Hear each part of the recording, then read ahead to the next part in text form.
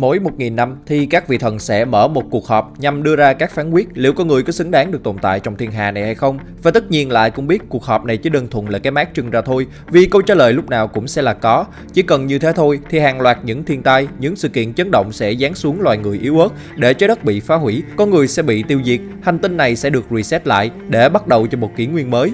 Tuy nhiên, nhờ có sự hiện diện của Hido và các chị em Valkyrie của mình, hy vọng nếu lấy sự sống của trái đất đã được níu giữ. Và đó chính là lý do mà đại chiến tận thế Ragnarok này được hình thành. Mặc dù phải chiến đấu với loài người và giết họ, nhưng trên thực tế thì vẫn có những vị thần thực sự yêu thương con người và phản đối quyết định này của những ông lớn trên vũ trụ. Vậy thì họ là những ai? Chào mừng các bạn đến với Ben trên điện tử. Ngày hôm nay, chúng ta hãy cùng tìm hiểu qua toàn bộ những vị thần muốn bảo vệ con người nhé. Nếu bạn là một người thích xem phim, tất cả mọi loại phim trên trời, dưới đất, đủ các thể loại mà không có thời gian để xem và không biết nên xem phim gì thì hãy đến với Phim, nơi bọn mình chuyên làm các nội dung về những bộ phim đang hot trên thị trường hiện nay, tóm tắt và recap lại để bạn có thể nắm rõ nội dung bộ phim đó nhất có thể. Bên cạnh đó thì mình cũng sẽ giải thích các ý nghĩa bên trong những bộ phim và nếu bạn là một con dân mê phim chính hiệu thì đừng ngần ngại mà vào kênh Phim của bọn mình để xem video và cho chúng mình một đăng ký, nhấn chuông thông báo để ủng hộ chúng mình với nhé. Sự đăng ký và góp ý của các bạn là tài nguyên và động lực giúp cho mình phát triển. Cảm ơn các bạn rất nhiều. Hercules là vị thần đầu tiên dám đứng ra phản đối thẳng thừng với các vị thần tối cao trên thiên giới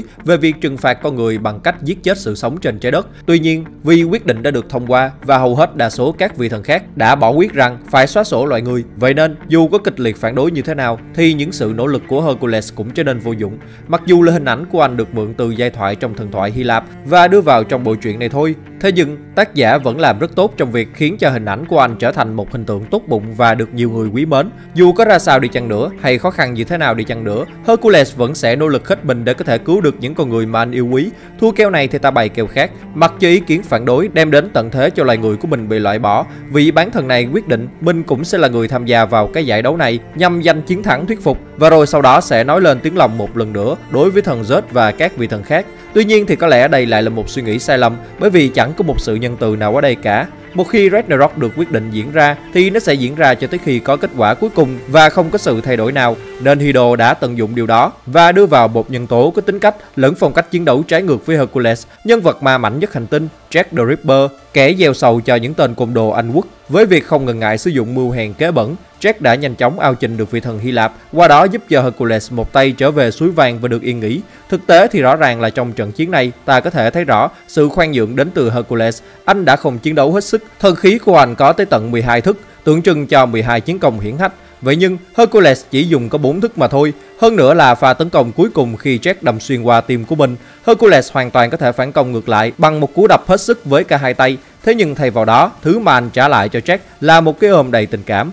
Cá chắc là không có vị thần nào trên thiên giới lại đem cả tính mạng của mình ra để mà cược như thế này đâu. Mặc dù là hành động này đối với nhiều người là ngu ngốc và dư thừa, thế nhưng mình tin chắc rằng Hercules cũng đã biết rõ nó. Nhưng vì quá yêu thương con người, vậy nên anh đã cố chấp và đặt cược vào mạng sống của mình để tìm kiếm một hy vọng nhỏ nhoi nào đó nhằm cứu lấy tính mạng của toàn bộ nhân loại.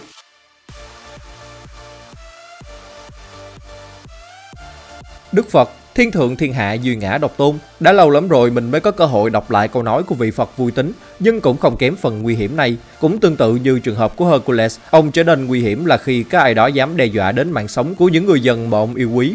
Thần không cứu, trời đất không cứu thì Đức Phật sẽ đích thân là người đứng ra giải cứu cho toàn nhân loại Ban đầu, vị trí sẽ ra sân thi đấu ở trận thứ 6 này bên phe thần chính là Đức Phật, thế nhưng ngài đã phản bội lại bọn họ ở phút 90 cộng 1 và rồi khiến cho mọi thứ tại đấu trường Valhalla này trở nên hỗn loạn. Sở dĩ mà Đức Phật làm như vậy là vì ông đã từng là con người, việc sống chung với nhân loại trong một khoảng thời gian khá lâu đã giúp cho ngài hiểu được bản chất của bọn họ không phải là như vậy, mà đó là do ham muốn nhất thời. Chỉ cần biết thay đổi, biết sám hối tận sâu bên trong tâm thức thì ai cũng sẽ có cơ hội được làm lại. Chính vì lẽ đó nên ngài mới quyết định đứng ra làm người dẫn lối cho phe loài người, dùng chính sức mạnh của mình để bảo vệ họ. Trận đấu của Đức Phật với Zero Fuku cũng là một trận đấu hết sức đầy duyên nợ, khi mà cái địch của Đức Phật cũng là một kẻ đã bị sự phẫn nộ nuốt chửng. Mặc dù ban đầu ông đã có một trận đấu đơn giản và coi như là chiến thắng đã nằm trong tay, trong giây phút giác ngộ cho vị thần còn ở tuổi dậy thì kia hiểu được thế nào là công đức thì biến số mang tên ba tuần đã xuất hiện và như một cái chồng chóng, trần thế đã đảo chiều. Đức Phật giờ đây là người bị ăn hành khi mà cái gã quái vật âm ti kia chứa quá nhiều đen tối bên trong. Thế nhưng với ánh hào quang chói rọi của mình, Đức Phật lại một lần nữa tìm ra công thức soi sáng cho cái gã quái vật kia cùng với người bạn mà ngài đã giác ngộ lúc trước là Zero Fuku. Cả hai đã thành công đem về một chiến thắng cho loài người.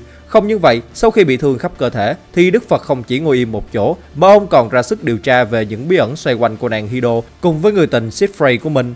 Ở đó, họ đang có một thứ gì đó cực kỳ mờ ám và người duy nhất có thể nhìn ra được chỉ có thể là Phật Thích Ca mà thôi. Có lẽ nếu như trong trường hợp xấu nhất xảy ra là Hido sẽ phản bội lại phe loài người ở những phút chót thì Đức Phật cùng người bạn của mình là Kintoki sẽ là hy vọng cuối cùng cho nhân loại đấy.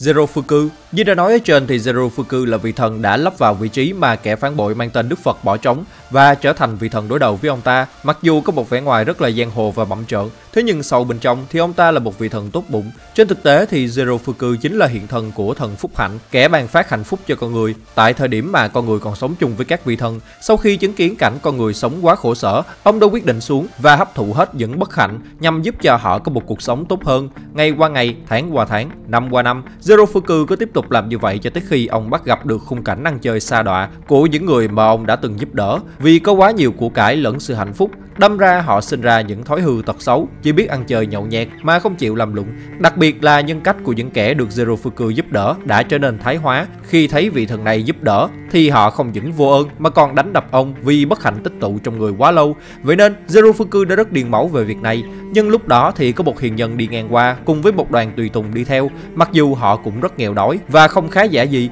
thế nhưng họ trông rất vui vẻ và hạnh phúc vì hiền nhân đó không ai khác chính là Đức Phật.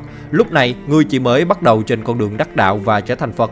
Đây cũng chính là thời điểm mà Zero Fuku trở nên điên loạn và bị bất hạnh chiếm lấy. Ông không còn suy nghĩ sáng suốt được nữa và từ đó vị thần này mang một mối hiềm khích lớn với Đức Phật. Đó chính là lý do tại sao mà Zero Fuku lại xung phong trở thành kẻ đối đầu với Đức Phật khi ngài đổi phe. Tuy nhiên, kết quả như thế nào thì các bạn cũng biết rồi đấy. Với một tâm trí chỉ toàn biết trả thù và nghĩ tới việc giết chóc thì làm gì có thể đối đầu được với một người thông thoáng và chiến đấu bằng cả trái tim cơ chứ. Vậy nên, Zero Fuku đã nhanh chóng bị đánh bại. May thay Đức Phật đã giác ngộ và giải tỏa hết những uất hận bấy lâu nay của Zero Fuku, sau đó giác ngộ cho vị thần này. Tuy nhiên khá là đen đuổi khi mà mẫu cấy 3 tuần của Beelzebub lại tiến hóa đúng lúc này khiến cho vị thần phúc hạnh trở nên điên rồ và làm vật chứa cho cái gã quái vật kia.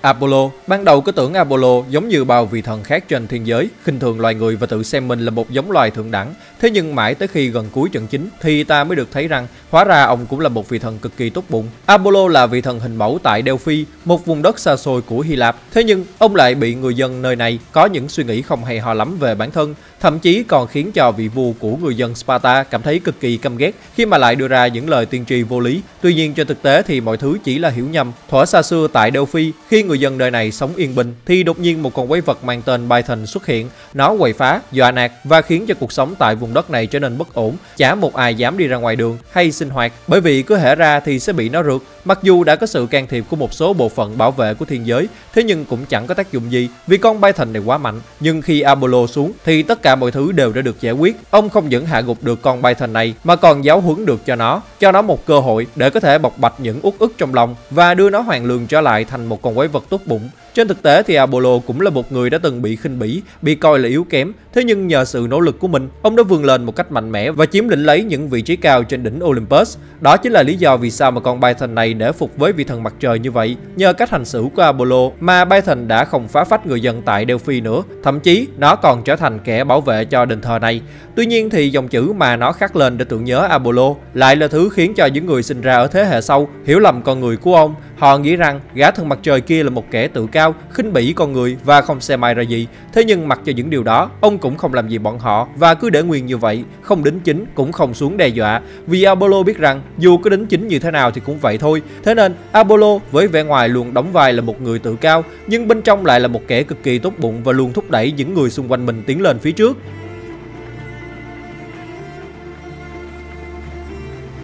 Các Valkyrie, mặc dù chỉ được coi là bán thần trong thần thoại lẫn trong bộ truyện này, thế nhưng theo mình nghĩ thì nó là quá đủ để chúng ta tôn vinh các cô nàng Valkyrie này. Mặc dù những người không cùng huyết thống, không cùng dòng tộc và có thể coi là cấp bậc của họ cao hơn con người, thế nhưng mặc cho điều đó, các Valkyrie vẫn sẵn sàng hy sinh bản thân để trở thành một món vũ khí và đóng vai trò quan trọng trong chiến dịch ngăn cản những vị thần trên thiên giới tiêu diệt nhân loại. Có lẽ vì vẫn còn một nửa là gốc gác ở quê nhà trái đất, vậy nên trong số 13 người bọn họ không có một ai là phản đối quyết định này của bà chị Hido.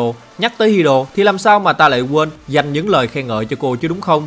Vai trò của các Valkyrie có lẽ chỉ cao hơn những hầu nữ trên thiên giới một chút, Đúng ra thì họ sẽ không có tiếng nói đối với các vị thần tối cao, nhưng bằng sự thông minh và sự khôn khéo của mình, cô nàng đã có thể khiến cho các vị thần phải đứng ngồi không yên và níu lại một tia hy vọng về sự sống của cả nhân loại trên trái đất. Đúng thật là hành động này được coi là phản bội và Hido rất đáng tuyên dương khi hành động như vậy, bởi vì tính mạng của cô có thể bị đe dọa khi dám đứng lên trải treo với Zed. Thế nhưng hiện tại mạch truyện cùng với gã người tình mang tên Siegfried thì đã có những thứ gì đó khá là mờ ám ở Hido và người ta đang đặt ra nhiều câu hỏi về việc liệu cô nàng có thực sự là người sẽ cứu rỗi nhân loại hay không hay đây chỉ là bàn đạp để cô tiêu diệt các vị thần mạnh mẽ đứng trên đỉnh Olympus và rồi chuẩn bị cho một kế hoạch dài hạn hơn sau đó.